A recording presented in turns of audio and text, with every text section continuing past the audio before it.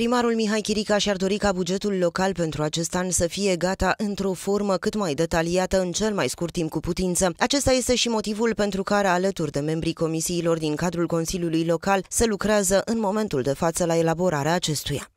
Se lucrează la buget de dimineață, încercăm să finalizăm ca să putem face o expunere publică mai detaliată în cursul săptămânii viitoare și apoi să-l predăm către consilierii locali. Pentru că vremea o permite, angajații din societățile aflate în subordinea primăriei au fost scoși imediat la treabă. Avem echipe la măturat stradal, avem echipe la periat cu periile mecanice, echipe la asfaltări și echipe la plantări, pentru că vremea ne permite, profităm și noi de, de vremea caldă, chiar dacă nu este potrivită pentru această perioadă. Și sigur, încercăm să scoatem sărbătorile din cap și să intrăm temeinic în uh, activitatea pentru care venim la serviciu.